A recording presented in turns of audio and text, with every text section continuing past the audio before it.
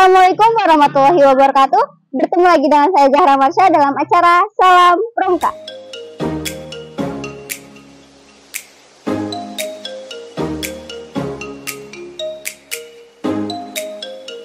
Pada hari Senin tanggal 14 Agustus tahun 2023, telah dilaksanakan kegiatan upacara peringatan Hari Pramuka ke-62 dan pembukaan Raimuna Nasional ke-12 tahun 2023. Pembukaan tersebut dibuka oleh Wakil Presiden Ma'ruf Amin.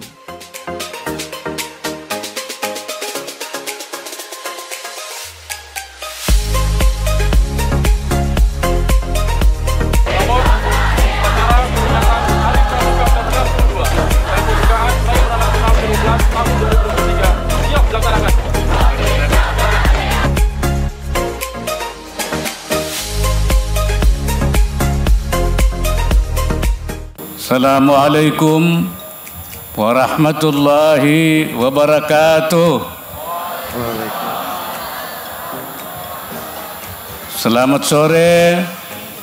Salam sejahtera untuk kita semua. Salam pramuka. Atas segala limpahan berkah rahmat dan karunia-Nya, kita semua dapat hadir pada peringatan Hari Pramuka ke-62 dan kegiatan Raimuna Nasional ke-12 tahun 2023 pada hari ini. Saya menyampaikan salam hangat dari Bapak Presiden yang sedianya akan hadir tetapi di saat bersamaan harus melaksanakan tugas kenegaraan lainnya. Dengan mengucapkan selamat ulang tahun ke-62. Kepada segenap unsur pramuka baik yang ada di seluruh tanah air maupun yang berada di kantor-kantor perwakilan di luar negeri. Dengan mengucapkan bismillahirrahmanirrahim kegiatan Raimuna Nasional ke-12 tahun 2023 saya nyatakan secara resmi dibuka.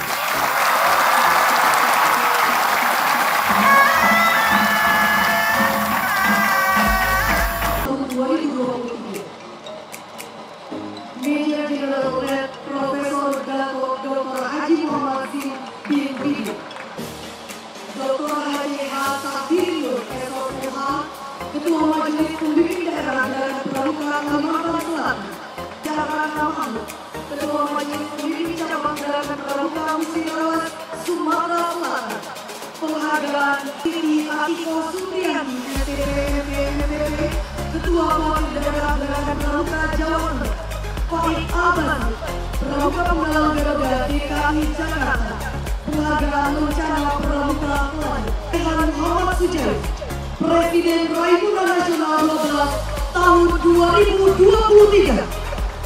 Alina Elizabeth Mapugo, perwakilan peserta Raimuna Nasional 12 tahun 2023 dari Kuartir Daerah Gerakan Pramuka, Papua. Mohon izin, kita hitung bersama. Tiga, dua,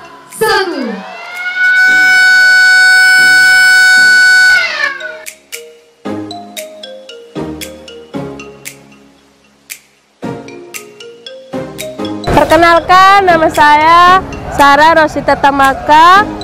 Saya asal dari Papua, Papua Pegunungan, Parca Pegunungan Bintang. Saya baru pertama kali mengikuti Raimuna Raimuna Nasional. Saya berharap Raimuna berikutnya bisa diperkenankan untuk ikut lagi. Terima kasih. Halo, perkenalkan nama saya Gendita Wambrau, saya dari Kuarcap Supiori. Uh, perasaan saya pada saat mengikuti Raimuna Nasional ini sangat senang karena ini baru pertama kali mengikuti Raimuna Nasional di Cibubur. Halo, perkenalkan nama saya Matre Raman Sawan dari Kuarcap 2620 Cabang Supiori, Papua uh, perasaan saya untuk mengikuti Raimuna tahun 2023 sangat menyenangkan karena merupakan hal yang pertama kali saya jumpai di tahun 2023. Perkenalkan nama saya Nurfatul Sulaimanar dari Kota Denang 20. Ini kali kedua saya mengikuti kegiatan Raimuna Jurnal dan ini merupakan apa kegiatan yang sangat menarik. Terima kasih ya untuk ke depannya Raimunan Nasional tahun 2023 ini yaitu yang pertama semoga lebih sukses dan lebih meriah lagi untuk ke depannya. Sekian dari kami. Wassalamualaikum warahmatullahi wabarakatuh. Salam Pramuka. Perkenalkan nama saya dari Dewan Kerja Nasional. Pada kegiatan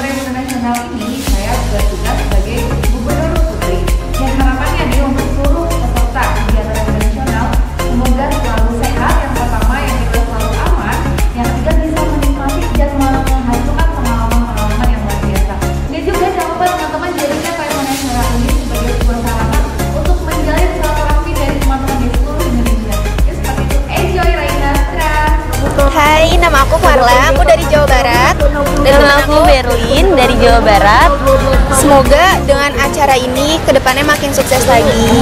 Kita bangga banget bisa diundang untuk jadi untuk perform di banyak banget ribuan orang berapa provinsi. daerah provinsi. Semoga Pramuka Raimunas bisa jauh lebih baik lagi.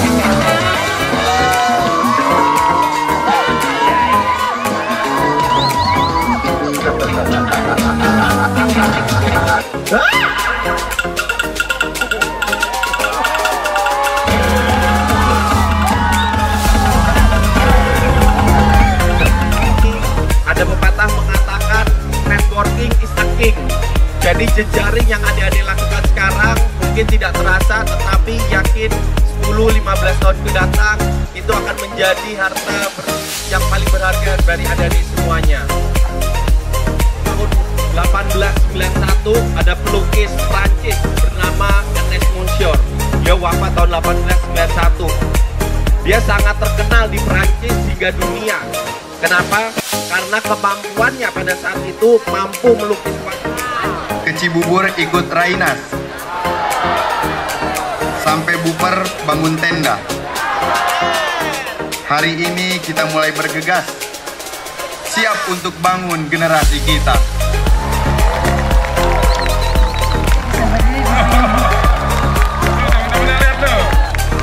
Jadi Raimuna bikin kamu bangga ya. Jadi balik ke daerah harus kontribusi buat daerah. Dan ajak generasi mudanya ikut gerakan pramuka dan harus jadi pemuda yang tang. Pesan saya gini, saya buang buang jauh-jauh pikiran kalian tentang uh, kekurangan kalian. Pikir saja apa kelebihan kalian, gitu. Asal apa yang menjadi ini kemampuan kalian. Selanjutnya, marilah kita saksikan bersama After Movie Kegiatan Raimuna Nasional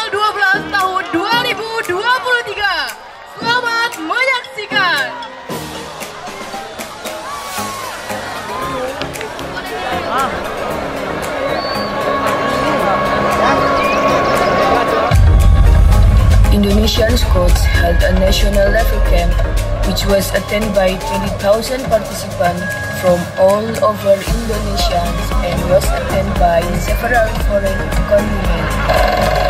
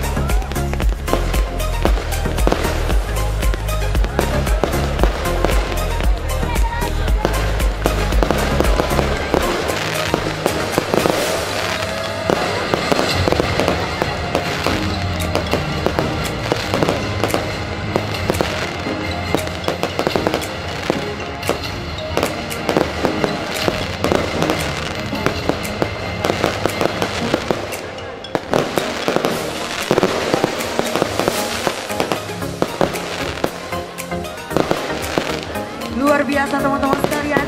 Itulah tadi yang sudah kita saksikan after movie kegiatan Raimuna Nasional 12 tahun 2023.